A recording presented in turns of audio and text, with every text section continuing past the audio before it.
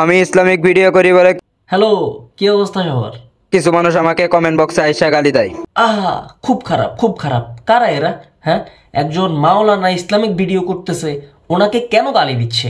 চলেন এই পবিত্র দিনে আমাদের এই মাওলানা সাহেবের কিছু ইসলামিক ভিডিওর নমুনা আপনাদেরকে দেখাই। ছেলেদের ভিডিও ভাইরাল না হলে তারা চেষ্টা চালিয়ে যায়। এই যে চেষ্টা এই ব্যাপারটা আমার খুব ভালো লাগে। কিন্তু হুজুর টিকটক ভিডিও ভাইরাল করার জন্য চেষ্টা চালিয়ে যাওয়াটাকে আপনি কতটুক যৌক্তিক মনে করেন? আর কিছু শিক্ষিত মেয়েদের ভিডিও ভাইরাল না হলে তাদের কাপড় খুলে যায়। আচ্ছা আচ্ছা আচ্ছা আচ্ছা এইবার বুঝতে পারছি কাহিনী। আপনারও দেখা হয় না? আপনারা একটা বার চিন্তা করেন এমিয়া কোন লেভেলে লুচ্চা হুজুর? আচ্ছা হুজুর আপনি কীভাবে জানেন এগুলা? যদি আপনি না দেখেন আপনি কীভাবে জানেন? আপনি যেহেতু হুজুর আমরা যদি ইসলামিক দৃষ্টিকোণ থেকে ভাবি তাহলে এগুলো সম্পূর্ণরূপে পাপ। এই পাপ জিনিস আপনি দেখেন কেন? ওমা খাইছে পুরা আধুনিক হুজুর মিয়া। ব্যাকগ্রাউন্ডে আমার মিউজিক লাগাই দেয় মানে হচ্ছে পাঞ্জাবি টুপি ব্যাকগ্রাউন্ডে চলতেছে গান। বাহ বাহ বাহ। হ্যাঁ তোমাদেরকে বলতেছি। হ্যাঁ হ্যাঁ কিয়া আমাদেরকে কিয়া বলতেছেন? ঠিক কি কারণে আপনার মানুষ গালি দেয় সেটা তো আমি দেখাইলাম। এরপরে বলেন। আমরা কিন্তু এখনও চেতি নাই। চেতলে কিন্তু এলাকা ছেড়ে পালানোর উপায় নাই। উরি বাবারে বাবারে উরি বাবারে কি থ্রেট হ্যাঁ? এরকম আপনারা কি ভয় পাইছেন? ভয় না পাইলেও প্লিজ আপনারা জোর করিয়ে এলো একটু ভয় পাওয়ার নিজেদেরকে। হুজুর থ্রেট দিছে একটা ব্যাপার আছে না?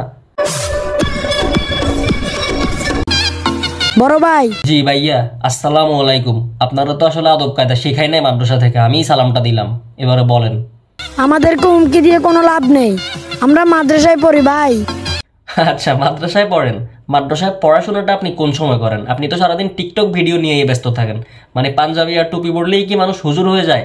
মাদ্রাসার স্টুডেন্ট হয়ে যায়। ভাই এই ব্যবসাটা একটু বন্ধ করেন এবার। ওরা কয় ওরা সব ওরাই টপ আহা মাওলানা সাহেব লোকের কথায় কেন কান দিতে হবে? মাদ্রাসার পোলাপান ফাও নাকি ভাইয়া? এখন থেকে টিকটক ট্রেন্ডিং কাপাবে। মাদ্রাসার পোলাপান ভাইয়া। আমি একটা ব্যাপার কিছুতেই বুঝতে পারছি না। উনি মাদ্রাসার স্টুডেন্টদেরকে টিকটকে যেভাবে উপস্থাপন করছে, এইটা দেখে মনে হচ্ছে মাদ্রাসার সব পোলাপান লেখাপড়া ছেড়ে দিয়ে টিকটক করা শুরু করছে।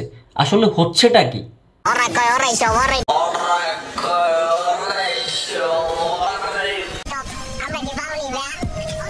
মালানা সাহেব মালানা সাহেব, একটু ঠান্ডা হন। ঠান্ডা মাথায় আমার মতো ছোট মানুষের কাছ থেকে আপনি দুইটা কথা শুনেন।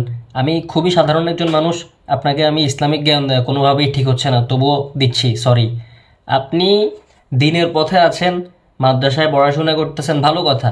মানুষকে আপনি ইসলামের দাওয়াত দেন। হ্যাঁ ইসলাম সম্পর্কে বোঝান, শিখান। আপনি তা না করে টিকটকে এসে কি কি করছেন, সেটা আপনিই ভালো জানেন। আবার টিকটকে যদিও আপনার দুই একটা ভিডিও আছে ইসলামিক, সেগুলোর ব্যাকগ্রাউন্ড মিউজিকে আপনার গান বাজতেছে। তাহলে হচ্ছেটা কি আসলে? মানে আপনি তো মাদ্রাসাটাকে ভালোবেসে, ইসলামটাকে ভালোবেসে এগুলো করতেছেন না। আপনি মাদ্রাসাটাকে আর ইসলাম ধর্মটাকে ইউজ করে আপনার ফ্যান ফলোয়ার বাড়াতে চাচ্ছেন। এসব ধান্দাবাজি বন্ধ করেন, এসব ব্যবসা বন্ধ করেন, ভালো হয়ে যান। ধন্যবাদ। ভালো থাকবেন।